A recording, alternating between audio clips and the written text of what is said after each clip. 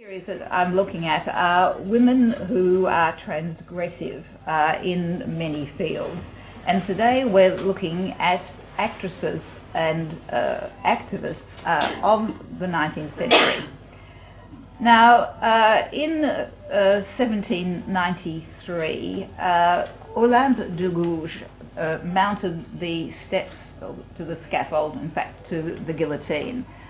and mounted them obviously in, in mortal dread, but probably also with a sense of great disillusion and ideological betrayal. And indeed, with her died more or less uh, the struggle for women's rights for voting, women's rights for equality, for almost um, probably about 90 years. Now, Olympe de Gouges probably had a name like Jane Smith, but managed to sort of give herself, you know, that Olympe de Gouges has that, you know, little bit of a je ne sais quoi, and had sort of lived by her wits, and you know what I mean by that, um, uh, until she'd um, arrived at a reasonable status in society. She, and I want you to remember this because we're going to be mentioning also another woman who came from a similar situation at the end of the lecture, Louise Michel. Olympe de Gouges was the daughter of a servant and probably the master of the chateau, uh, and so benefited from a small amount of education. And this drove her to become, uh, gradually move up the social ranks, became a playwright, and at the time of the revolution um, was a great advocate for the ideas of the revolution, and particularly in the field of women's rights. She also um, campaigned actively against slavery. So, as an abolitionist, as someone who was used to or had the illusion that women were welcome in the public sphere, she was very, very dismayed um, reading the Declaration of the Rights of Man, which was, of course, uh, penned in 1789. She originally thought that the idea of man actually embraced women as well. Of course, she gradually found that this was false, and so in 1791 writes her own Declaration of the Rights of Women and of the Citizen. So this is a direct take on the title of the original. This is the Declaration of the Rights of Man and the Citizen. All right. So in other words, she is claiming citizenship for women, um, meaning the vote. And of course, this was not to happen. Robespierre, at this time, she was a member of the sort of more conservative uh, wing of the Jacobin party. She belonged to the Girondin circle. And with this kind of declaration, she um, angered people such as Robespierre, who was against having the participation of women uh, in public debate at all. Even though uh, Olympe de Gouges says women has a right to mount the scaffold, she must equally have the right to mount the rostrum in many ways, uh, she paid the price uh, for this open declaration of women's rights. Uh, she had um, campaigned for the idea that women were rational beings uh, and were not only the same as men, but were equal to men. Uh, when she mounted the scaffold, there was an, a report on her death uh, in the newspapers which said, Olympe de Gouges, born with an exalted imagination, mistook her delirium for an inspiration of nature. She wanted to be a man of state. She took up the projects of the perfidious people who want to divide France.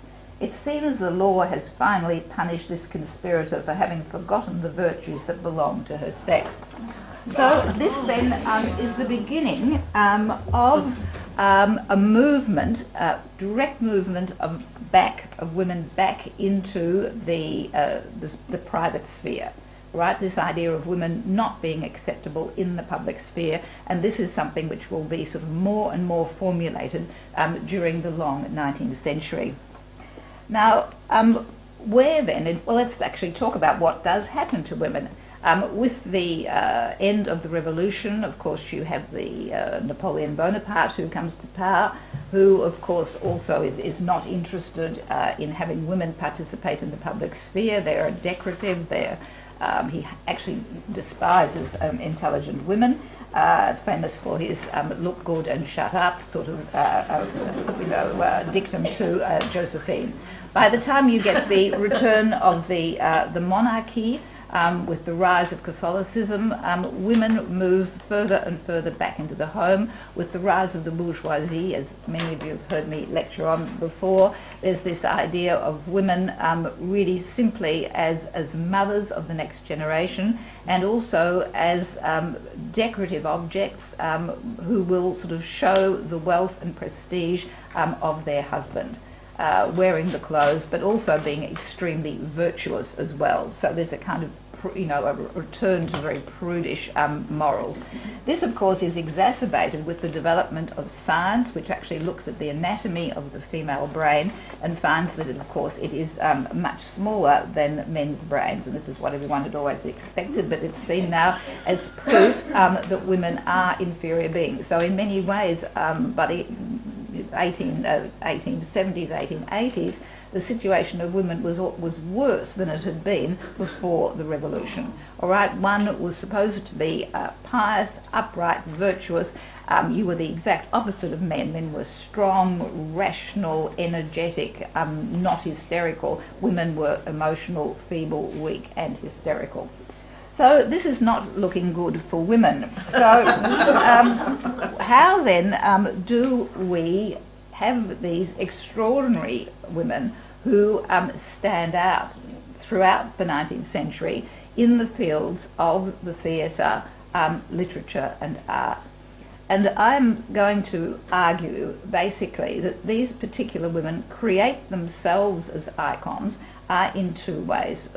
Firstly, by being extremely outrageous, by the fact that they are so far outside the norms of society that the bourgeois women who, who you know, could possibly, maybe, want to ape their behaviour, um, could not even contemplate of living such an extraordinary life. That's the first thing. So they, they deliberately dwell on the outrageous aspects of their lives um, and exaggerate them into becoming sort of larger than life, almost fictional figures. And you, you'll see what I mean when we're talking in particular about Sarah Bernhardt. The second thing is that each of these women that we're going to be looking at today, particularly Maria Malibran, um, her sister, they're sort of as one, then um, Sarah Bernhardt, and then the uh, political activist Louise Michel, um, each exemplify a political or literary um, movement of the time. Uh, and so by being by in being the incarnation of these ideals, also managed to get away with the fact that they also happen to be women. Right? So they're not judged really as women; they are judged as phenomenons of society uh, and represent France on the international stage as well. These all of these women that we're going to speak about had international um, reputations.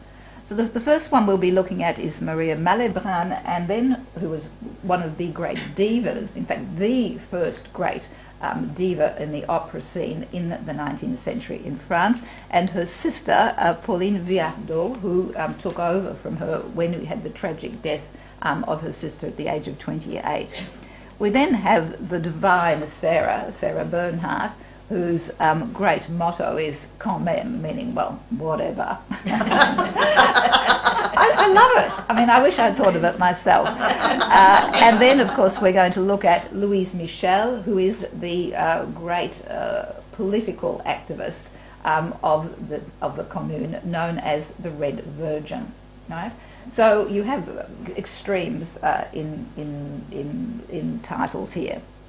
Now we're going to be looking at during this time at um, Paris in three stages. We're not going to be looking very much at Paris, but it, it, it is, I want you to remember Paris of um, the early restoration, 1811. This is the Paris of the boulevards when they're being created.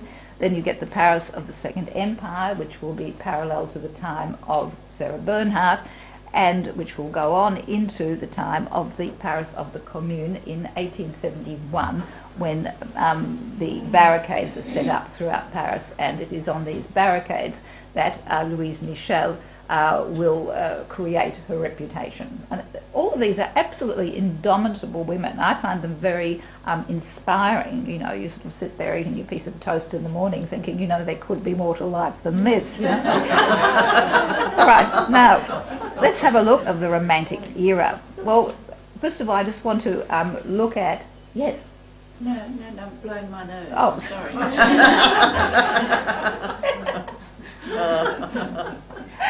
Am I allowed? No, yes, no, it's just that your, your arm went in front of the Oh, projector. Sorry, and I thought you were um, asking a question. Oh. All right, we, we have um, Paris then of the early Romantic period, 1811, and I just want to draw your attention very quickly to the fact that women have already um, forsaken the very free clothing under the revolution, which was no corsets, no wigs, uh, very, very simple, uh, unadorned fare, and already they're back in uh, what will be a prototype of the crinoline uh, with the corset back on. I just want to show you um, pictures of two of the queens of the Restoration period, the queen, uh, the wife of Louis Philippe, and the wife of Louis the 18th. Um, both of them decked out to the nines, as you can see, corsets, um, petticoats, extraordinary hairdos, bows, extremely impractical. Everything that has gone away from the, what was thought to be the freedom of the revolution, the um, equality in dressing. All right, so women then have gone back into this role of, of representing virtue and, and propriety and, and the success of their husbands. But you also get these great singers on the stage. Now, Maria Malibran, I'll, speak about her biography later in detail, but just very briefly, she was the daughter of um, a celebrated uh, tenor, Spanish tenor, uh, who drove all of his children incredibly hard and created uh, two prima donnas from out of his two daughters and um, a, a singer and a, someone who spends a lot of time working on the pedagogy of singing uh, in his son. Now, Maria Malibran was um, considered to be the most celebrated diva of her time. And I want to sort of look at how come this happens. You know, she was born in what 18, what was it, 1811, 18, 1808. How can this happen at a time when um, women's rights have been sort of clearly taken off the agenda as something which is important and women are moving back uh, into the private sphere? How do you suddenly get this one person catapulted um, onto the stage, talented or not? Um, there are several reasons behind this.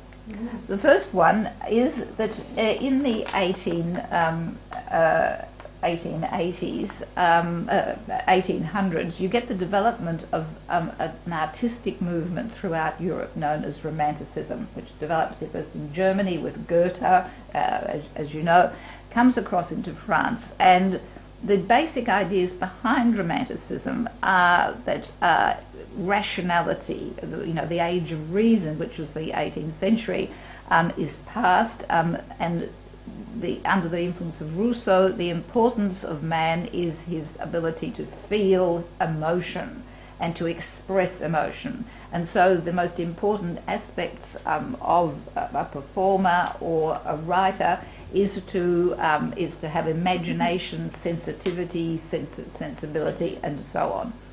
So um, this, of course, opens the way for um, female performers, um, women, or at least anyone who is going to be able to express great emotion. And this is much would have been much more difficult if you are a male lead. So you're going to find um, female leads beginning to be written into the operas in particular, um, and even the novels of the period. What does romanticism is about sensitivity and emotion, but it also creates. It's also one of the great um, ideas behind romanticism is uh, that you have to live your life in in moments of exaltation, uh, which you can't get just in the sort of the banal flowing of, of, of time from the time you're born to the time you're dead. You have to find these moments of exaltation and seek them out. And of course, through love and passion, you're supposed to be able to do this. So one of the great themes of Romanticism is unrequited love. And of course, here this is going to be the great role of the tragic heroines. You know, you think of Desdemona uh, in Othello, uh, Romeo and Juliet, and all of these people who will become, you know, the great uh, central acts um, of the 19th century operas. So, um, as um, a, heroine, a romantic heroine who is doomed, you know, who, who is never going to be able to fulfill her love, you know, who, and is eternally desirable because she has removed herself from the, the sphere of normal uh, time, the normal time frame. Right, she disappears into death or into madness or in, into a convent, but the main thing is that she disappears because I mean you, you can't actually su- sustain being a sort of a diva 24 hours a day, can we? We all know that, don't we, girls? All right.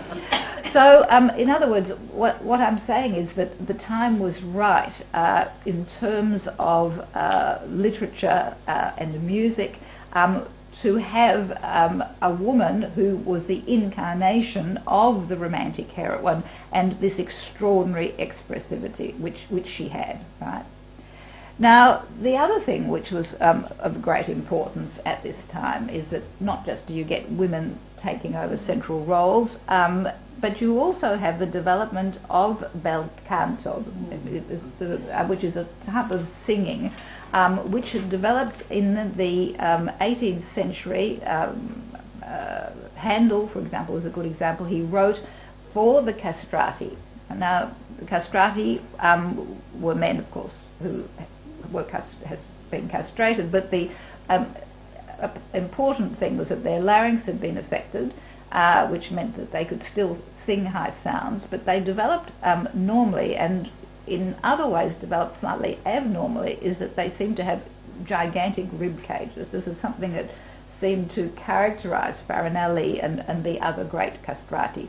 So they had enormous abilities to push out um, long sounds uh, and sustain these notes.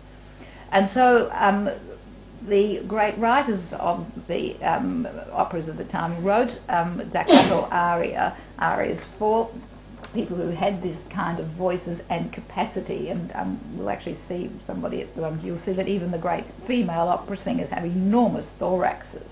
You know, you don't want to be a skinny little thing um, if you're trying to, you know, punch out sounds. Now they developed the bel canto, which was basically um, what we would call coloratura, where you have uh, sliding, you know, rapid ascension of the scales and then rapid cadenzas coming down again roulade, you know, cooing sounds, um, trills, turns, um, sometimes leaping whole um, one or two octaves, um, sustained, incredibly sustained, smooth delivery of lines, great articulation, and so on. Now, this wasn't called bel canto at the time. It became known as bel canto at the beginning of the 19th century um, when the French uh, writers of opera really uh, felt that they were being invaded by the Italians. Uh, and of course, you do have the all of these great writers of opera uh, who are Italians who come and work in, in Paris. Rossini, who writes his Barber of Seville, that's you know, um, Cinderella, um, Othello. Um, and the French didn't like it. The French actually felt that um, the uh, Italians were all about show, all about act, and there was no structure in the text, which you know is quite possibly correct. Um, but um, it meant that it nurtured um, people who had extraordinary voices. Now, um, Rossini, um, Barber of Seville, um, first of all, you will have Malibran's father starring in it but also Malibran will also make um, her debut. Now, Rossini wrote of Malibran, ah, that wonderful creature. With her disconcerting musical genius, she surpassed all who sought to emulate her, and with her superior mind, her breadth of knowledge, and unimaginable fieriness of temper- temperament, she outshone all other women I have known. And that is quite something um, coming from um, a man who'd worked with the other uh, divas uh, in uh, in Italy. So the other um, writers who, the great writers of uh, opera that you had again were, oh, first of all, I'll talk about Rossinism. Um, this is uh, Delacroix, the great artist Delacroix, who actually wrote a, made a, a uh, caricature of Rossini striding the stage at the uh, Théâtre Italien, holding up um, Manuel Garcia, who is the father of Pauline Viardot and the Malibran on one side, and two of the other divas. In other words, he's absolutely completely dominating um, the opera of the time. You also have Bellini, who writes Norma and La Sonnambula, and of course uh, Gaetano Donizetti with Lucia di Lammermoor and um, numerous um, operas all about tragic heroines. You know, this is, I mean, you couldn't get anything more typically romantic in the romantic sense of that movement than a woman, you know, out in Scotland, you know, uh, you know, coming to a tragic end, right? Even if it is Joan Sutherland and it's hard to imagine. All right, so um, there we have, um, no, just before I actually, no, this, notice a minute, just before I start on that, now, um, what was amazing about the La Malibran, as, as, as she will uh, become to be known, was that she had an extraordinary tessitura. She, uh, in other words, her register. She could actually sing from um, G below middle C up to um, E, and if she ex- really extended herself, she could go up to F6, which, which means basically that she could sing contralto, uh, mezzo soprano, and soprano and she had she had this extraordinary range. Um, but evidently, it wasn't just her range which made her amazing. Um, it was the um, velvety nature of her voice, and the, the Italians call it the voce in petto, this sort of um, resonance um, of, of her voice. And unfortunately, there, we can only imagine what her voice must have been like because, there, of course, there are no recordings um, of her.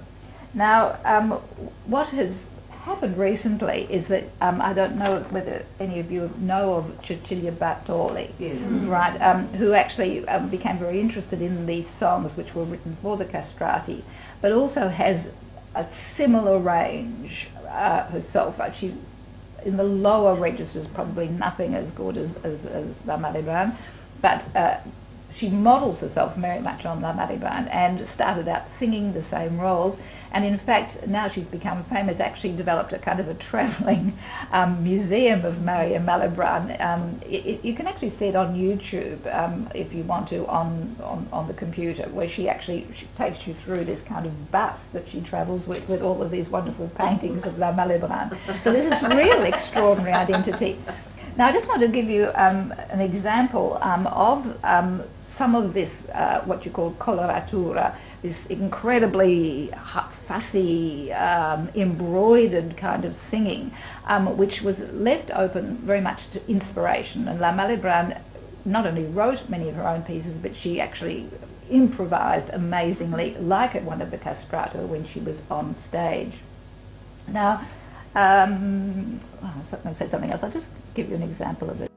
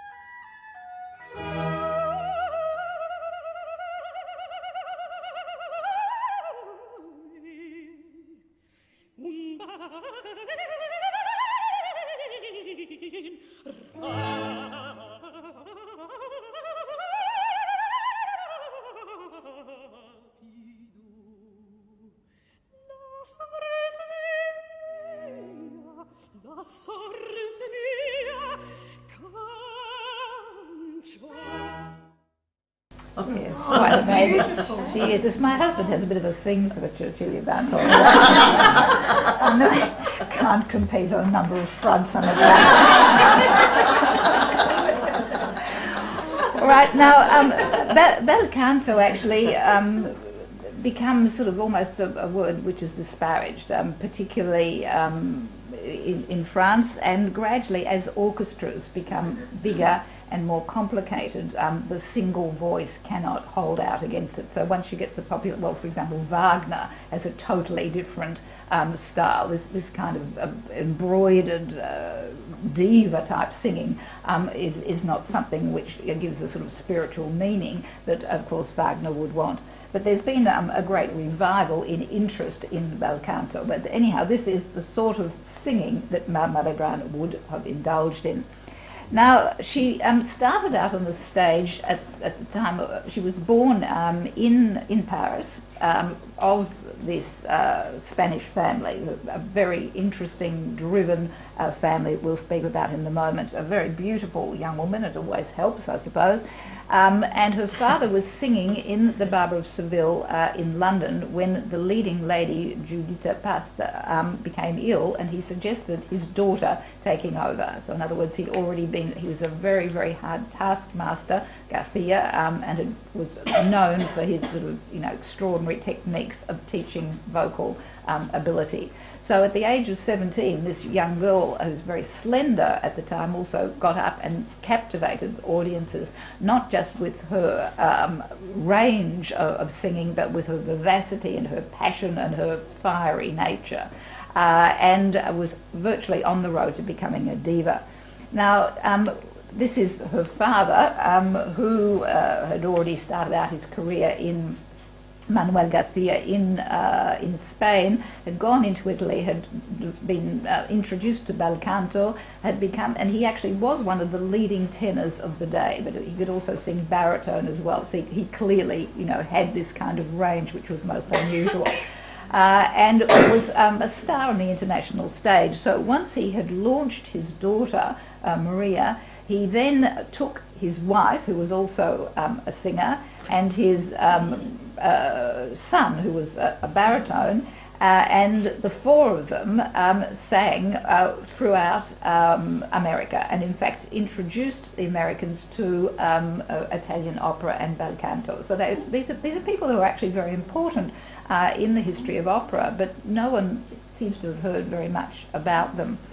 Now, um, he had a stormy relationship with his daughter. Uh, she was a sort of diva personality, obviously, and so was he. And finally, um, to escape him, when, this is one of the, the ideas that she um, married a man much older than herself, uh, uh, Monsieur Malibran, who was uh, Swiss and who was um, a banker. Uh, this, didn't, this didn't work very well because he went bankrupt, and so she left him. Uh, but in the meantime, she'd um, managed to strike up um, a relationship with um, a Belgian uh, pianist, violinist, uh, and had an illegitimate child. So you can imagine sort of um, on the sta- this imagine the sort of virtuous um, bourgeois woman um, even dreaming of, of having this kind of public exposure. Um, secondly, being divorced um, and then having an illicit relationship and an illegitimate child. So you can see that she was way out of the conventional ideas of the time. Now, um, um, also um, was, this is what someone wrote of him, a man of exceptional gifts and strong personality. He was a man of being governed by passions and impulses, exuberant, overflowing with life and energy, a man who did everything on a grand scale. He was intelligent without being subtle, extremely handsome and well built, full of charm, which was coupled with more than a dash of vulgarity.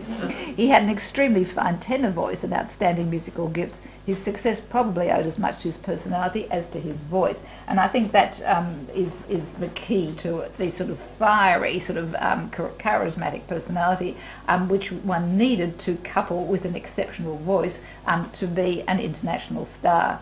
Now, Maria went on from um, this success in New York and came back this is her brother, um, who actually lived to be 100, uh, is painted by Singer Sargent, and then also um, wasn't, uh, couldn't compete basically with his, his sister and his younger sister, Pauline Viardot, who's 13 years younger, all right, who is going to be a diva as well. So he actually um, resorts to, I suppose you could say, resorts to um, investigation and study of the larynx and produces the first laryngoscope and writes treatises which are still used today on singing technique. All right, so it's a very, very important family. Now, um, Maria, when she came back after having divorced Malibran, still known as Malibran, and um, is accepted into the um, salon uh, circuit um, through another woman who is of Spanish origin, who is of Cuban origin. This is the Countess de Merlin. So um, via this way, she um, is then going to have another opportunity to launch herself at the uh, uh, Théâtre Italien and on the uh, French stage. Now, what is interesting at this time is that um, although she is now famous for her extraordinary lifestyle uh, and extravagant sort of acting and personality, um, the, uh, she is never accepted as a composer. Now, in, in actual fact, Maria Malibran was a composer, a great composer, not of large orchestral pieces, but um, particularly of lighter, smaller songs, many of which she published overseas. However, um, and this is the important point that I'm really trying to make, is that she could be accepted as a diva, uh, but not really as a serious um, composer and worker, someone who had inspiration, as one did, you know, the cult of the genius of, in, during the Romantic era, but not really someone who you took seriously and whose work you actually studied and worked with.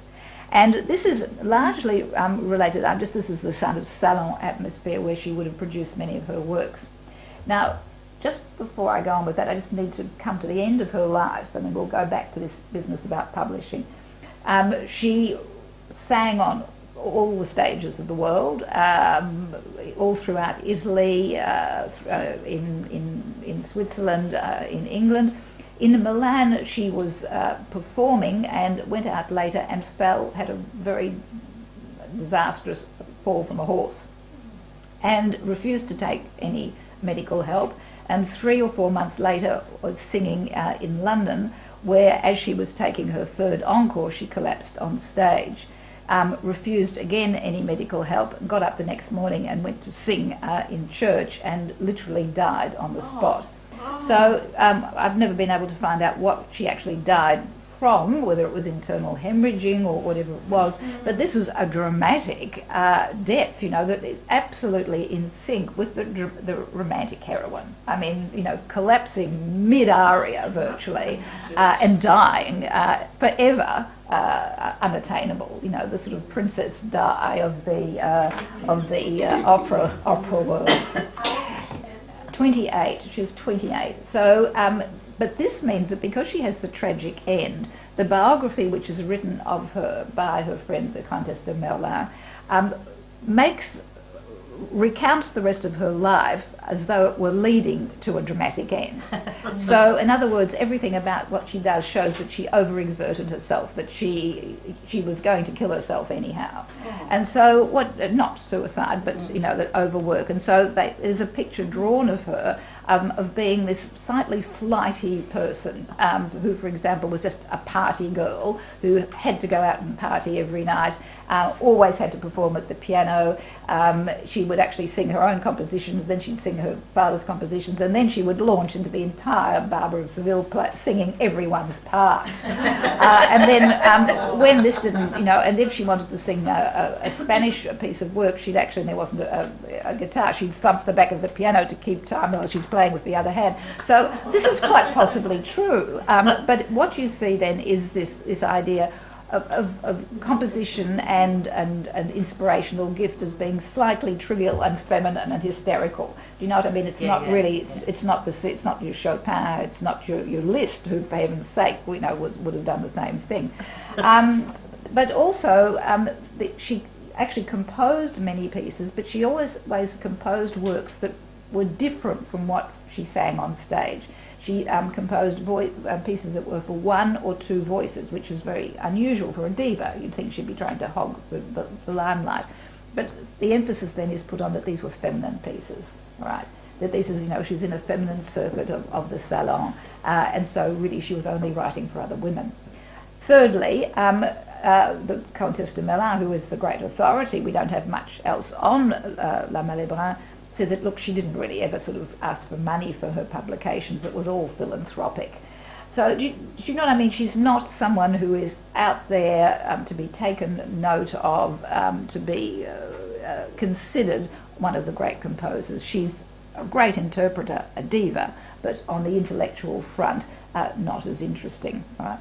Now, um, you actually have stories of uh, the facility with which she wrote. For example, uh, there are stories that she'd be sitting in the wings while the orchestra's tuning up or playing, and she'd be writing, composing a piece. Now, this idea of it sort of being so sort of trivial that she could just sort of toss it off. You know, this idea of hard work, incredible hard work that she must have gone through to be able to sing and perform like this um, is eradicated from her story. All right, so she is then this great fictional, tragic heroine um, of the bel canto era. Now, this is her as uh, Desdemona, again, the great sort of you know, tragic heroine. Uh, and this is her in Donizetti's Elisir d'Amore, where she actually sort of wrote part of her own part.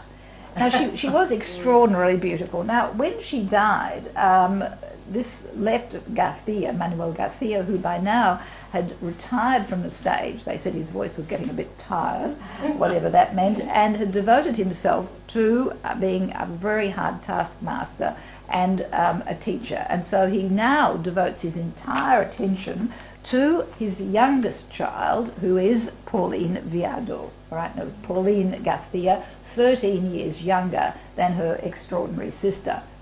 Now, the problem for Pauline, uh, very few people have heard of her either, even though she was basically the muse, inspirer, and friend of practically every great composer uh, in living in France in the 1820s, 1830s. Uh, she was not beautiful, mm-hmm. all right? And in fact, I, I actually had a photo of her there. I must have accidentally eliminated it. She really was very unattractive. But she had that old je ne sais quoi because men fell at her feet uh, and constantly um, spoke, you know, devoted their lives to her, as we'll see.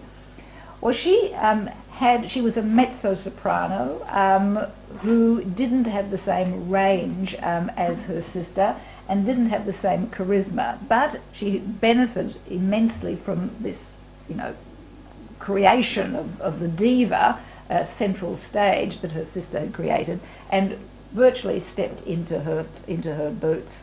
Now, um, I just want to show you. Uh, this is uh, a lot of you have been who are here have been to Paris with me. Um, she lived literally with the romantic clique, and by this clique I mean the great painters, writers, and musicians of the Romantic era, who all lived basically in this, a couple of streets in the ninth arrondissement in an area which is known as the New Athens, all right? And she lived in this, uh, in the New Athens quarter, in the Square d'Orléans, the Square of Orleans, uh, which was built uh, on, on, in an English style. Now, in this particular uh, group of houses that you have here, you had um, George Sand, you had uh, lived with her lover Chopin, uh, you had the Viardot who lived there. Um, you had Liszt who used to come to perform. Uh, you had Zimmermann. Liszt, of course, his uh, lover Daniel Stern, who of course was originally a countess but left her husband uh, to follow Liszt. So all this very unconventional lifestyle. And in this painting here, we're, we're actually looking at one of the evenings that they used to have at the museum, what is now the Museum of Romantic Love. uh, and here you have George Sand. Um, you've got Paganini, you've got Rossini. Um, I'm not sure who these other people are, but other sort of great, but and Liszt, of course, here as well, uh, all relating to Beethoven. So um, now, Pauline Viardot um, was coached by her father, but was a great pianist and uh, wanted to be a pianist. She didn't want to be a, a singer at all. But her father dies, and her mother then forces her to be to go to the stage as a singer and to abandon well a career as a serious pianist. And um, she was considered as a great pianist by none other than Liszt and Chopin. Uh, so these, you know, it wasn't just sort of the next door neighbour who says, "Oh, that sounds nice." Uh, uh, it, it, it, was uh, serious stuff. All right. Now she probably had a crush on Liszt, as most people did, but uh, later managed to maintain friendships, and that's what I think is really interesting about all of these diva personalities that they have these tumultuous love affairs with all these fellows, and then they're all mates, you know, and all invited to the same soirees and swap stories. It's rather fascinated me. Anyhow, so she remains friends with Liszt, um, is very close to Chopin. Uh, and uh, she uh, transposes many of Chopin's works as, as songs uh, for the piano, and she also, um, some of his barcaroles um, have been inspired by her influence in, in Spanish music. So they worked often together, and during the great breakup between um, sorry, George Sand and uh, Chopin, as you knew, they were lovers for, for a number of years. Um, the break came over a problem with uh, George Sand's daughter. Uh, Pauline Viardot constantly tries to intervene um, to soften uh, George Sand in relation to, to Chopin. Uh, George Sand was behaving in a, in a horrible way towards him, making fun of him in public and so on. Uh, and finally, eventually, is not even there when he dies. And Pauline Viardot um, actually will be at his funeral and will sing the requiem um, from behind black curtains because, of course, women weren't um, supposed to be singing in church at the time. So she carries out her devotion to um, to Chopin to, to great lengths. Now she. Uh, this I, I, thought I couldn't go without showing you this letter. This is George Sand at her best. Um, it, this is not the days when you wrote someone an email sort of saying, "Hi, what is 10 o'clock Sunday a good time. This is um, George Sand um, asking to have an appointment with Pauline Viardot, Queen of the World. You have to tell me which day is mine. I'm too jealous of the happiness I feel when I see you to require the presence of other than the elitists among your admirers. Answer with one word whether it will be next week or on Sunday that my poet's attic will be lit with four candles and decorated with two pots of mignonette. If I had millions, I would spend them on that day to buy oriental carpets to place under your feet. As for you, I will surely succeed through my unwavering adoration. I admire genius well enough, but when it is coupled with goodness, I prostrate myself before it. This was sort of 19th century prose. It, it probably just sort of meant hi. You know, yeah. uh, you, can't, you know, when you read it now and you think, my goodness, you know, what was the relationship between them? It was, it was nothing, just sort of two people who were sort of um, quite interested in the same sort of work, I think.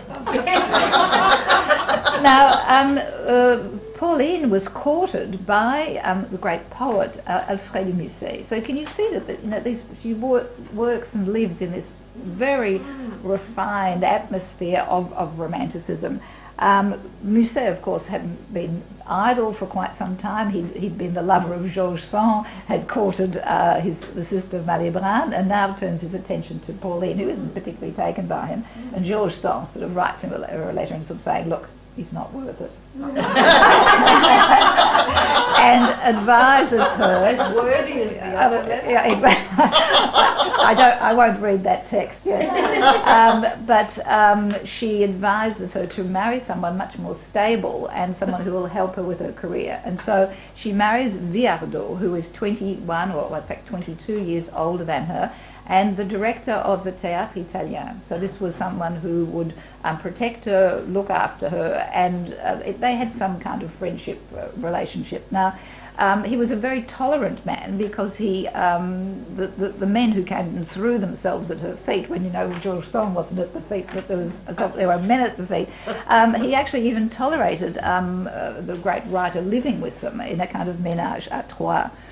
But we have um, all of these great um, writers of opera at the time, Saint-Saëns, Gounod, Massenet, Fauré, you've even got Meyerbeer, all write um, operas with um, Pauline Viardot in mind. Uh, in, in Puritani was written with, with her role in mind, Orpheus and Eurydice, uh, and Berlioz as well, although Berlioz actually cools off uh, and decides that there's a cooling off in, in their relationship. Now, she was also very close to Clara Schumann, um, uh, that's not yes, that's right, Clara Schumann. They uh, kept up a, an epistolary relationship throughout their life, exchanged uh, songs and so on. So um, Pauline Viardot, while not being a diva, is at the centre then of the artistic life. Now, she goes to sing in St. Petersburg, uh, and there is seen by Ivan Turgenev, and he immediately falls in love with her. You know, this diva on the stage, this you know romantic heroine, forsakes everything, comes to Paris, and writes, and most of his novels from Paris, and um, will live actually in the backyard of the of the uh, Viardot's house. Now, apart from these two sisters, apart from being divas, extraordinary singers, composers, they also painted as well. They were great linguists, and um, Pauline Viardot was absolutely fluent in um, English, French, Italian, Spanish. Uh, but also, when she sang in Russian, the Russians thought that she was a native speaker of Russian. So these were extraordinary people, but it had been done by dint of incredible hard work. Um, but of course, this is, you know, has been taken away, uh, and you just get the uh, glamorous shell which remains. So this is Turgenev, who um, um, this is the Viardot uh, building outside at, at Bougival, um, near where we had lunch. Actually, a lot of us in, at the um, Fournaise. Uh, and this is the Dashka or Dushka, sort of a Russian house that he literally builds in the backyard and um, comes and helps bring up her children. Um, you know, um, the children deny there was anything more than just affection between them. Um, but these extraordinary letters that he writes to his muse and uh, really, she obviously inspired devotion not just on the stage but away from it.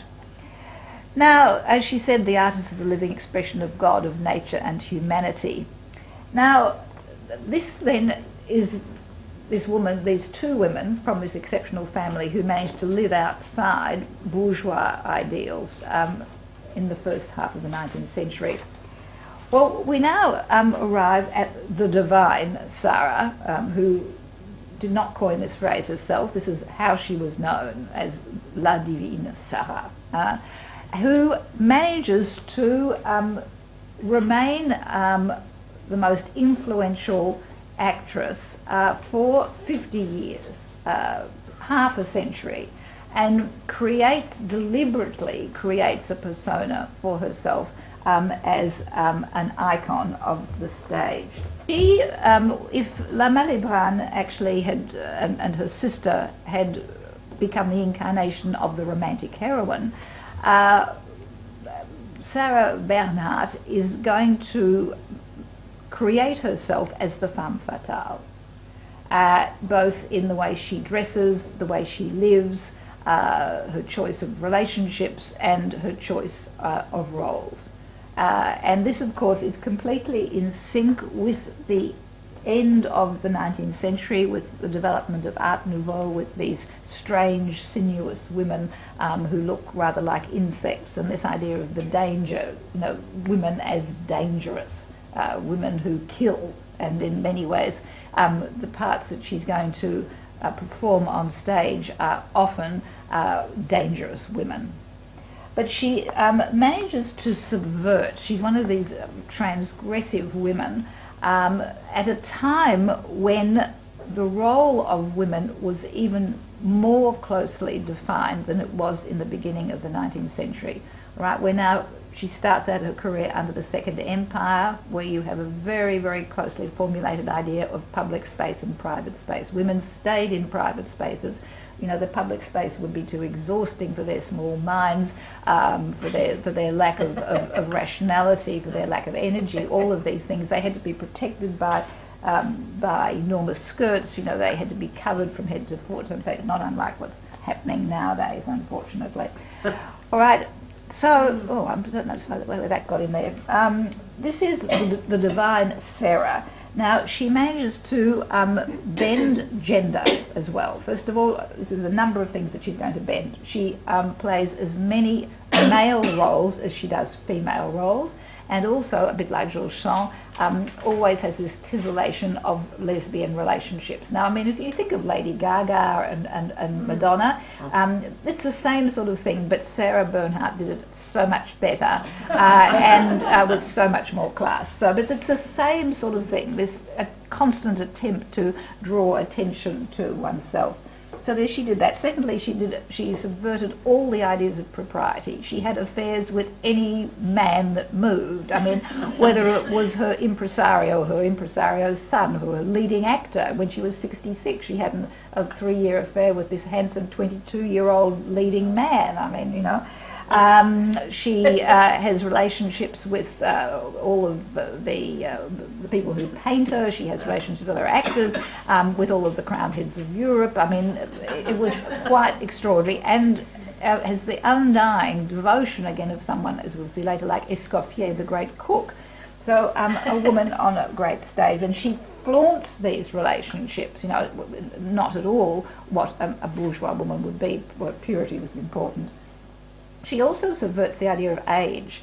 Um, she constantly appears to be about 20. Uh, and even when she's sort of in her 60s with a wooden leg, she's playing um, a, a, the role of a, 19-year-old boy. You know what I mean? She, she no, never a, allows herself to fall into ageist roles. She also um, subverts religious ideas. She um, is, is Jewish in, in her origin and constantly says that she is, takes part in the Dreyfus affair on the side of Dreyfus, of course, but uh, plays Joan of Arc, you know, much to the horror of the conservative Catholics. Uh, she also subverts fashion. She's going to make sure that she goes away from the voluptuous nature of, of women's bodies and dresses uh, and emphasises her sort of rather boyish um, silhouette, as we'll see and makes thinness um, fashionable. Uh, uh, and she also she uh, um, portrays herself as, as, as, a dangerous woman, constantly as being connected with animals, as you'll see. But even more interestingly, um, she's one of the first to actually court publicity uh, by attaching her name to products. Uh, and they're always slightly dicey products, as you'll, as, as you'll see. All right, now um, let's have a, a look at, at, at, Sarah Bernhardt. Now, she started out uh, in life as the daughter um, of a, a Jewish courtesan, and we don't know who her father is.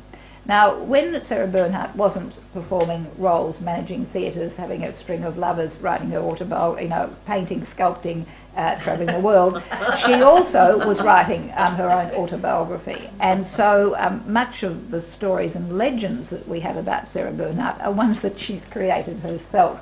So there's always this little hint that, you know, of course, he was a nobleman and, you know, maybe he was the Duc de Morny himself. But what is certain is that she was sent away. Her mother had no time for her, as, as you wouldn't if you were a courtesan. She had two half sisters, and they were sent off um, into a convent and uh, to be brought up. And uh, even though uh, Sarah at an early age was expelled for insubordination, she still um, had enough respect for the nuns to want to become a nun herself. Um, but this didn't work out. And um, uh, uh, she didn't try particularly hard. The, uh, she was actually with her mother in the salon when no other than the Duc de Morny, who was the, one of her mother's lovers um, sort of says, well, look, this girl's got a beautiful voice. And this is the other thing that she was supposed to have a voice like a bell, a golden voice. So these voices are, are important. Uh, and says, why don't we put her on the stage? This is the story. And uh, now you know who the Duc de Morny is. In, um, when Napoleon III comes to power, he arrives in Paris, and his mother, who is Hortense, the daughter of the Empress Josephine, has never told Napoleon III that he actually has a half has a half brother, right? And they meet for the first time when Napoleon III has come as Prince President uh, in uh, 1848, and uh, in many ways they, they bond, and in many ways uh, the Duc de Morny is going to be the brains, uh, the hard economic brains behind Napoleon III's regime. Unfortunately, he was a great womanizer, uh, wrote erotic uh, ditties and plays, and died of an overdose of aphrodisiac. Um, so he came, he came to a sticky end, shall we say. Now, um, in the meantime, he has been the, the lover of Rosine um, and uh, has launched um, Sarah onto the stage and also manages by his um, influence to get her into the Comédie Française. Now that was extraordinarily difficult. So you do actually wonder um, if indeed uh, maybe his relationship to her wasn't more than just, you know, um, being a friend of her, her mother's. Anyway, um, she uh, is a bit of, she makes her debut as in Iphigenie, by Racine uh, is not noted at all. Uh, people think she's skinny, she's scrawny, she's got a good voice, but she's sort of eccentric. And then there's this scuffle um, in backstage when there's the audience is sitting waiting for the leading lady to appear, and there's this slapping and screaming from the back, and it's it's Sarah who's been slapping the, the leading lady because she insulted her half sister, so she's sent off from the Comédie Française and resorts in many ways to what a girl can do um, is becoming a courtesan like her mother. And she was um, very talented at this. And, th- and, this is what you actually um, note with these courtesans, is they were very clever women on the whole, the ones that survived and, and thrived, and basically didn't like men all that much, knew how to manipulate them. Um, and this is something that Sarah has obviously learned from, from her mother and uses um, to great power with audiences uh, and with all the impresarios and, and other actors that she has to deal with. Uh, and during this time, she has a, a, liaison with the Prince de Ligne in Belgium and has a son by him, um, Maurice, who um, will be the lo- really, literally the love of her life, and she who she takes with her absolutely everywhere. He's hopeless, but anyway, uh, his mother gives him everything, keeps him going, sets him up in theatres, picks him up when he falls down, even when he takes the opposite side in the Dreyfus affair and is an anti-Dreyfusard. Anyway, so this is um, during this period. She then comes back and is given um, a chance again um, through the salons and then finally comes up into the stage at the uh, gymnase and plays um, a, a, a, travesti role. She plays, a, appears as a young boy and gets rave reviews because, of course, this actually suited her figure, suited her style of acting, and this is when she's actually going to, you know, be the beginning really of her career. And of course, it is as this kind of slightly sexual ambiguous or gender ambiguous uh, status that she has. And uh, she will um, carry this out throughout her career, um, one of her favourite roles being Hamlet, where she plays Hamlet. Uh, and um, another one of her roles, as we'll see later on, her greatest role will also be um, as a male character.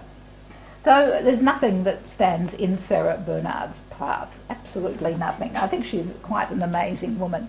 Now, um, when she's not with her, then there's um, a painter at the time who was a well-known lesbian painter, Louise Abbéma, who uh, uh, does a portrait of, of, Sarah Bernhardt and writes as a dedication that, you know, this was the beginning of our, our, our wonderful affair uh, and so on. And Sarah lets this be published and let it be known to sort of titillate her public. Now, um, she also um, creates um, a, a, persona for herself by always appearing, which is what one is not supposed to do with animals, uh, and travels with a menagerie um, of uh, parrots, uh, monkeys, uh, wolves, cheetahs, um, these extraordinary dogs that look a bit like her, but also even with an alligator. Uh, and the alligator's called Ali Gaga, and, and, and who um, dies from an overdose of champagne. Uh, so um, she wasn't particularly interested in the welfare of, of animals. Animals Australia would not be on one of the things that she'd subscribed to. They were part of her persona this idea of this woman who's sort of in touch with the animal world, with the exotic, with the dangerous. All right, she really didn't like cats very much. Do you know what I mean? It had to be an alligator to actually make it. But here I thought this um, painting of her by Clairin, who of course is one of her lovers and then one of her great friends, um, is amazing, where she manages to produce herself in a sinuous style, um, very much like the dog at her feet. Now, talking about animals, she also um, related herself always to this edge of, of the animal kingdom, and in particular to animals which represented death. And one of her favourite hats was a bat hat, um, which was actually a stuffed dead hat, uh, uh, uh, bat which uh, she would wear. So, of course, the bat being the symbol of, of death, of, of seeing in the dark, of the afterlife, and perhaps it isn't so much to us now, but in the 19th century, you know, just need to go to Père Lachaise Cemetery, most part Heather, and uh, there would be all of the bat symbols and so on, this idea of seeing in the dark, having special powers, which she, and she will maintain this aura of invincibility and, and uh, all, all the way through her life. So she not only wears the, these clothes, but also um, uh, is famous for travelling with two coffins. And there is the coffin that she sleeps in uh, in her bedroom, and the coffin that she receives in in her salon. Uh, and so this was clearly a, a, kind of mise en scène, you know, a, a sort of putting herself on the scene to, together. Uh, and she would receive guests in this satin-lined coffin with flowers all over her, with candles burning. Um, all of the um, apartment, for example, in the in the last tour we went on to Paris, we went to the Rue de Fortuny near uh, Parc Monceau, and uh, that's where she would have uh, lived. And she had the whole place decked out in black with uh, diamond tiers and bats um, throughout the decoration. All right, so um, in fact, even Victor Hugo, who was a great admirer, you know, who, who, writes these letters, I fall at your feet, I, you know, shred, shed numerous tears when you represent my heroines on the stage. He actually sent her as a gift um, a, a, diamond tear. All right, so there was this, uh, one knew that this was the way in which one, um, gave, you know, gave uh, adulation to uh, Sarah Bernhardt. Now, this um, is not just sort of her own imagination. She's deliberately casting herself as the romantic dead heroine, you know. Um, if you think of Millais, uh, there's a lot of Delaroche, Delacroix, um, the cult of Ophelia um, at the time, where you are more beautiful in death than you are in life. Now, um, she was, she cultivated this slightly erotic, necromantic sort of uh, uh, theory, but she'd actually been very ill as a child and sort of, according to her biography, had used to spit blood. But I mean, for someone who spat blood as a child and manages to sort of do, live the life she lived and live, you know, till nearly 80, one does wonder.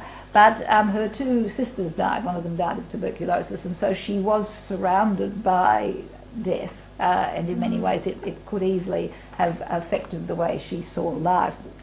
Now, she um, carried this onto the stage, and the, the, heroines that she liked to depict were these either, they were, uh, either she played male parts, all these dangerous women, or women who are dying. Here we have for Medea, of course, you know, who, uh, you know, kills her own sons to, to take revenge, as well as having killed her rival and so on.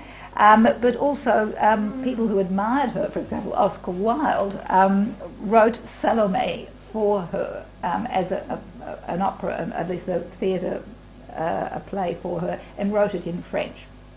And here you have Aubrey Beardsley's representation of um, Sarah Bernhardt and the severed head um, of St John the Baptist. You know what I mean? It, there are lots of other parts of the scene you could have had, but it, it, it's that part that she wants to be represented with. So there's this idea of the femme fatale.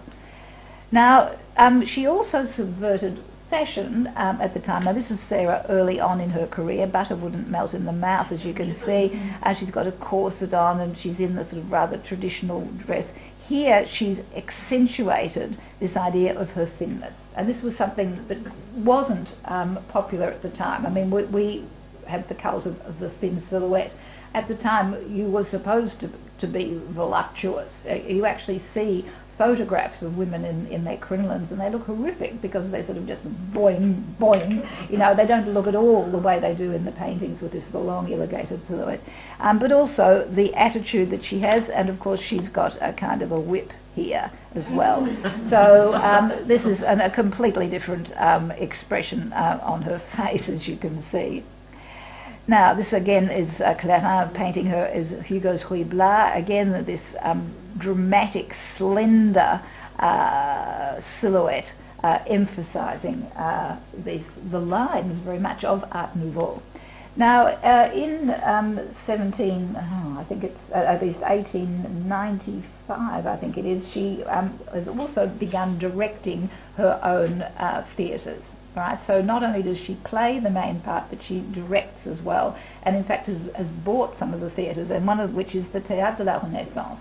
Um, and she needs posters for the publicity and uh, needs it like now and goes up to the uh, office and the only person she finds who's actually there it's on you know during the holiday season is Mucha and uh, he this is where he will begin to work for her and produce these uh, images which have become absolutely iconic. Here she is as Gismonda, also exotic heroines, Byzantine princesses, extraordinary, absolutely extraordinary costumes that she used to, to play in. And one of the, the go-to um, uh, plays that she would produce again and again and again was the, the Lady of the Camellias. This is, of course, from the Traviata. Well, of course, you get this languishing heroine who dies of, you know, you know, TB, but is more beautiful in death than ever. And no one could do death scenes like Sarah Bernhardt. No, she was known. That people would come from all over the world to see her die uh, on stage. Um, and I'll, I'll, actually read you a passage of, of, what happened in Australia. Now, she also um, plays roles. This is part of this idea of, of, going across religions and across age. When she's in her 60s, she was playing Joan of Arc, who was supposed to be 17. Uh, the only problem was that she had to keep falling on her knees in front of the Inquisitioner, and of course this did her knees in, uh, and so uh, she it didn't last for very long, as opposed to the Lady of the Camellias. But um, this is she then took on the uh, the Théâtre du Châtelet uh, in, in Paris now was a theatre taken over by Sarah. As she got older, um, she found that it was better to have her public at a lot greater distance from her to manage to be able to create this sense of eternal youth and, and, and sort of romantic sort of uh, evanescence. Uh, and so she has this. You can actually see the the uh, little loge. What, what do you call it? You know, the when artists make themselves up. What's the word? Dressing room. No. dressing room, right? So you can actually go in at half time and actually see uh, her dressing room uh, there. Now, um, she also had the, the uh, entrance of it completely done up as the Louvre, dedicated to Sarah Bernhardt. All her lovers who had done portraits of her, all of these portraits were, were there, uh, and so on.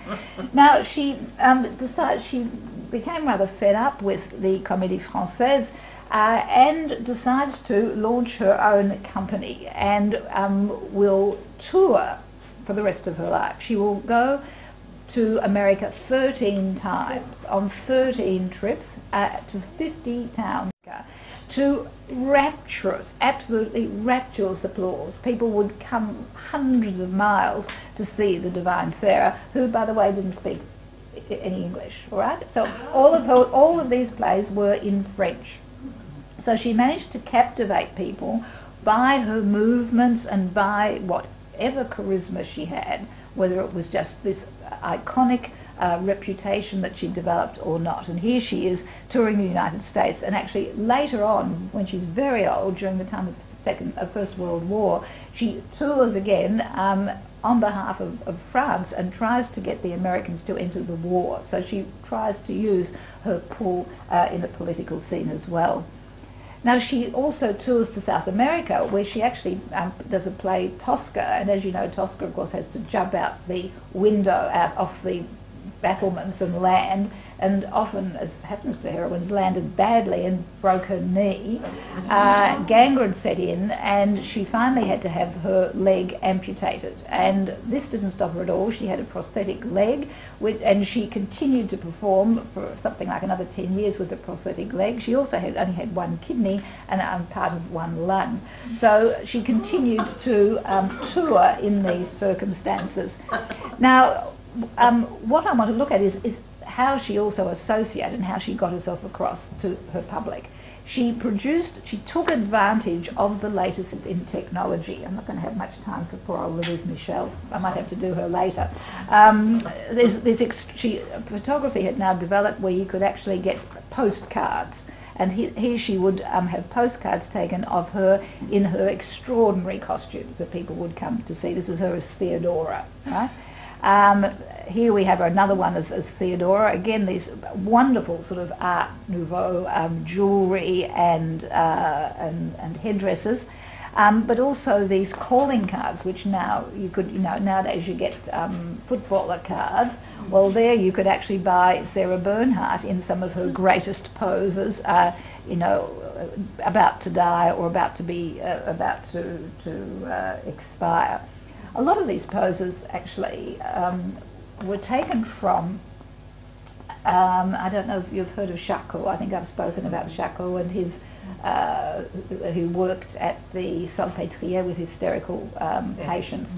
And uh, one of the people who used to come to watch the performance of, the, of Hysteria was Sarah Bernhardt, and she used to take Hysteria to the stage. And in fact, if you actually look at the photographs um, that were taken by Charcot of Augustine and other people, his favourite uh, hysterics, um, they're not dissimilar. They're not no no. They're not dissimilar from these stages of epilepsy. The way in which she actually produces, you know, languishing horror and so on. And we'll see her in a moment.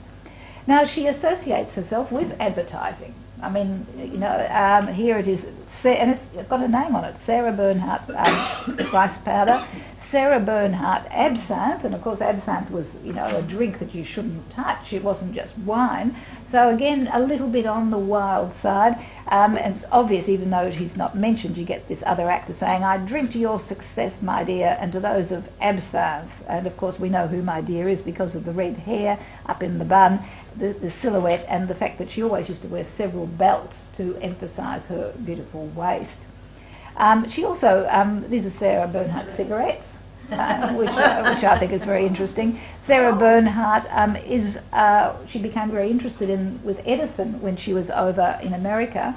Uh, and promotes, this is her at the 1900 exhibition, promoting this phono uh, cinema theatre where you could actually go um, into a particular restaurant or something and listen to the performance uh, which was being played in a theatre uh, nearby. And um, Proust, for example, um, preferred to do this. So here we have Sarah again. Here she is listening to Edison. Now, when she wasn't actually um, doing all of this, you know, touring, managing her own uh, company, the, you know, uh, had her own train with her own, you know, 50 suitcases full of costumes and so on, she was painting or sculpting. And she actually had um, um, a studio up uh, on the Boulevard de Clichy, almost opposite the hotel we stay in in Paris, up on Boulevard Rochechouart. Um, on the corner up there where she painted. And here, I think it's an extraordinarily modern outfit that she's got on here. Um, uh, she actually painted very well. She um, had some of her art was accepted at the salon.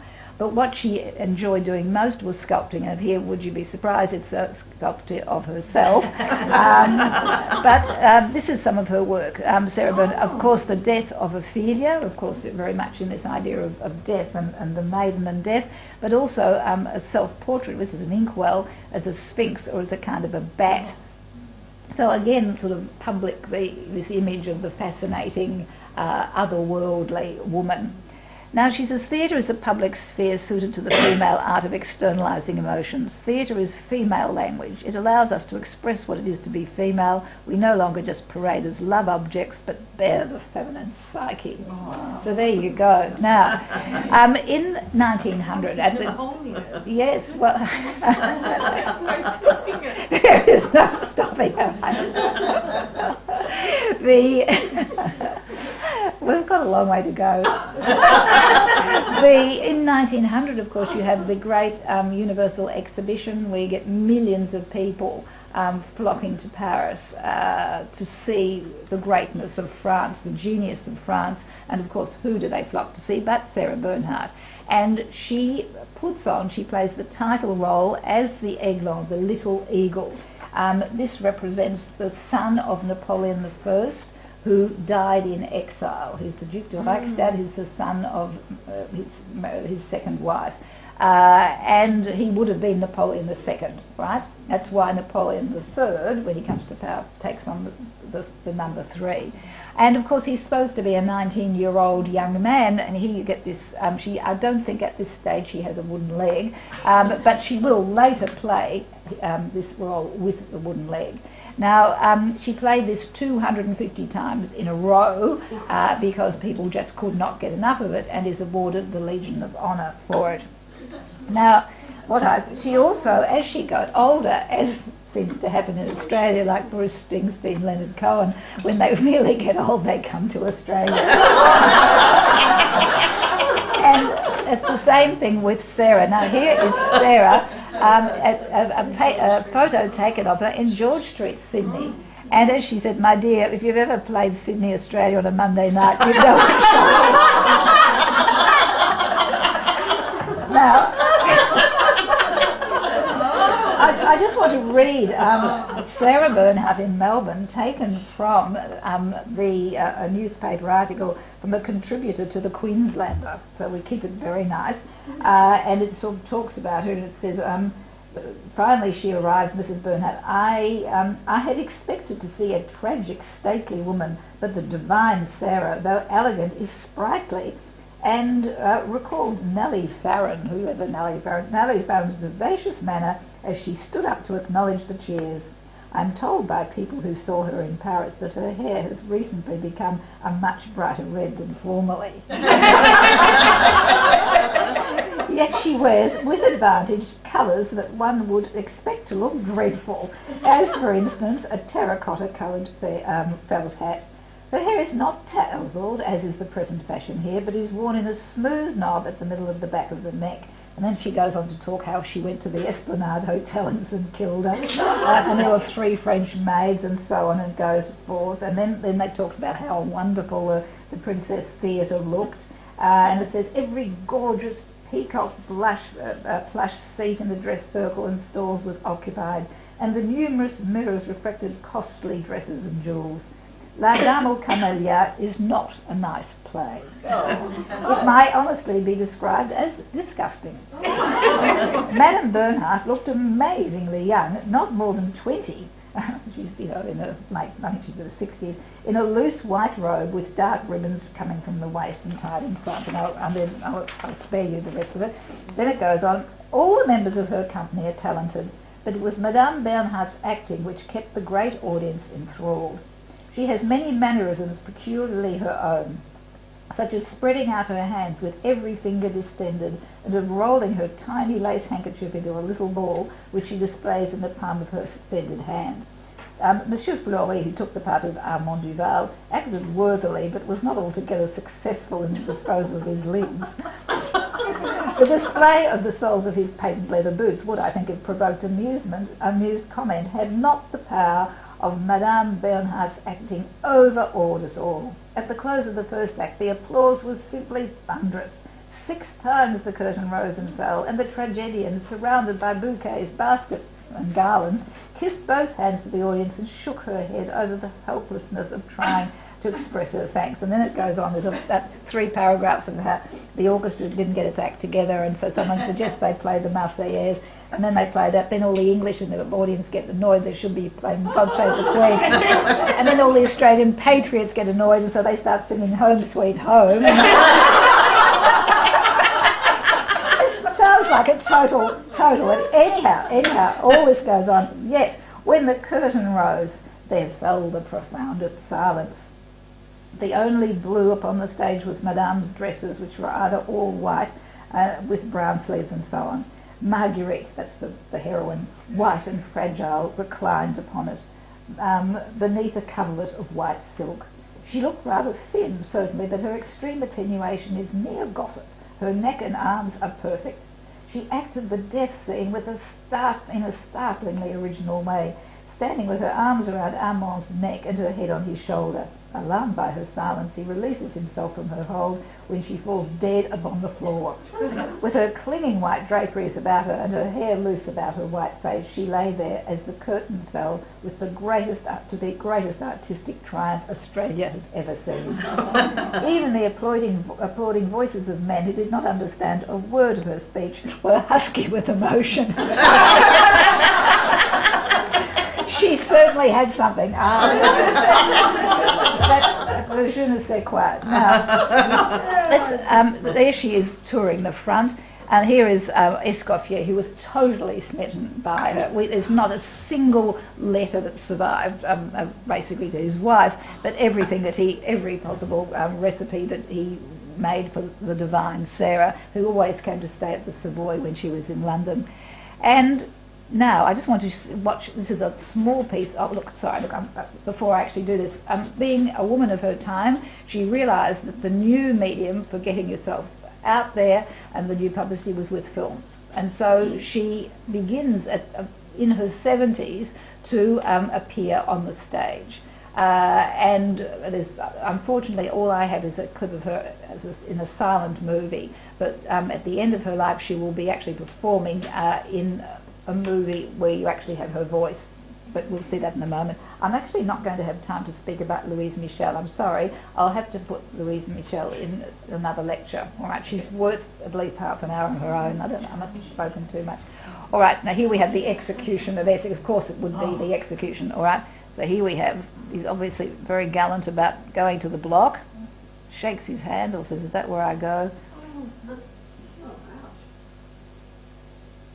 Right, the Queen visits the body and discovers the ring is missing. You know, this is, in other words, he's been executed. Obviously, the head's been placed back on.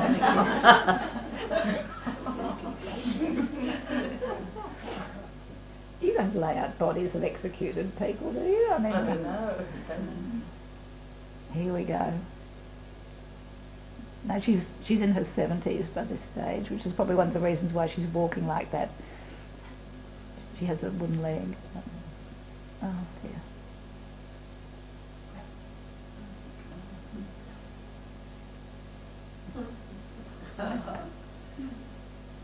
yes, it's not sort of just subtle.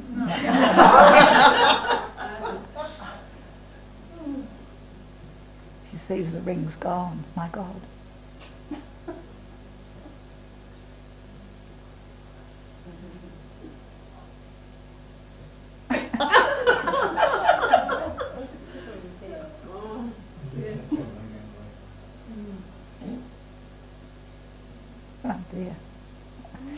well, that, that, there, isn't she? Pardon? She's very much there. She, yes, she is. She looks tall. No, she's not. She's not. No, it's, it's because of the, the clothing that she's wearing. Now, in, in her very last film, um, it is appropriately called the seer. You know, the la voyante. You know, the, the soothsayer, the person who can see into the future. Um, and she was literally dying of uremia, and she knew she probably only had a few weeks left to live, um, but was determined uh, that she would continue uh, right until the end. And so when she became too ill to actually um, not just perform in the studio, but actually to perform in the living room, they brought the entire uh, camera crew and everything to film her in her bed. Uh, and she literally expires, not on camera, but a couple of hours after the, they've shot her for the last time. They haven't finished the movie. Someone else stands in as Sarah Bernhardt, but always has her back um, to the to the audience. So um, a diva, absolutely um, to the last moment, um, always courting publicity, always creating herself um, as an extraordinary person. Now, the person I was going to finish with, I've only got five minutes, so I, I, am not going to go into it, but I want to uh, just mention Louise Michel, who creates um, another type of legend about herself and manages to survive the commune, manages, um, even though she um, came to power, she's a school teacher, watch out for them, uh, someone who is sort of rises very much like Olympe de Gouges. She has the same background. Her mother was a servant. Her father was from, from the castle. She's given um, a good education but never quite accepted into the circles of, of her father. Therefore, has this sense of, of outrage. Um, and particularly of outrage of, of, of, the condition of women. She um, fights on the barricades in the Commune of 1871 is, is one of the central figures in developing uh, women's cooperatives, in, in working out uh, the ideals of the Commune. Uh, and in that final devastating moment when the French troops come in and take over Paris, um, she will be one of the few survivors of the massacre of the Père Lachaise cemetery, uh, where everyone was they were I mean, hunted down. 225,000 uh, people die in the bloody week of 1871. She um, is taken and she's not killed, um, and it's, it's uh, why? Mainly because she had such a high public profile that they didn't want to use her as a martyr. And so instead she's sent out to New Caledonia, and this was a, a traumatic experience for most of these people, these communards who weren't put to death. They were urbanites, people who lived in the tiny streets of Paris, and suddenly they're sent out to New Caledonia, um, given no housing, no clothing, no food, with a, virtually a Stone Age people to con- uh, contend with. Um, most of them either died of malnutrition or exposure or um, sank into depression. Not Louise Michel. Um, she manages to reinvent herself from having been a radical feminist and a radical sort of communist um, to becoming a kind of amateur um, anthropologist. She goes around um, collecting stories from the different tribes. She writes uh, innumerable novels and plays, manages to get them sent back um, into France. And finally, um, when the Kanaks actually uh, have an uprising, she gives them her red flag that she used on the barricades in 1871 as their symbol. Anyway, she's deported back to France because she's too dangerous in New Caledonia. and she arrives to uh, 7,000 people at this railway station uh, crying, you know, Vive uh, Louise Michel. They've got to know about her via her writing. By the time she's come back seven years later, um, the commune, the ideals of the commune have disappeared. You've now got the Third Republic, uh, and but she, however, is an anarchist, and she will, uh, and she also is against the empire. So she then starts out again, leads a bread riot with a black flag this time, is taken and is put in prison for another two and a half years anyone else in Saint Lazare prison would succumb again either to dysentery or madness, but not Louise Michel. She writes things, thank, thank God I'm in prison. I no longer have to teach and, and mark, and mark my students' work. I, I no longer have to worry about people on the barricades. I can devote myself to study and learning several languages. She finally comes out of prison uh, and is shot at by um, someone who wants to get rid of her, quite understandably. Uh, and however, there's a great public display of forgiving him in public, wants him to come forward, and so adds this kind of spiritual sort of the good lady, the sort of saintly lady to her aura goes to England, um, is known as the good lady there, starts up a cooperative school, has very advanced ideas on, on teaching children, for example, with disabilities and so on. Uh, and then finally, uh, even though she's very ill, she's now become an anti-imperialist, goes over to work with the Algerians to foment uprising against, against the Third Republic. And fortunately for the Third Republic, she finally succumbs and dies at, in Marseille. Now, um, I'll just quickly, I will talk about her later. Um, oh, um, no, oh dear. I just wanted to get to the final. These um, these people uh, that we've spoken about then um, were legends in their own time, but they have survived. You know, their their the personas, which was so far from that of the average women of the time, have have lived on. Um, everyone is familiar with the face of Sarah Bernhardt through the posters of Mucha. Uh, Louise Michel, you might not have heard of her, but uh, Ségolène Royal, when, for example, she was running for president, uh, what she said that one of the first things she would do as a socialist president would bring the body of Louise Michel and have her placed in the Pantheon. And of course, La Malibran is now um, the person who is the incarnation of bel canto uh, in Paris of the 19th century. So extraordinary women uh, who were allowed to thrive simply because they cultivated their extraordinary nature. So let's all go and do it.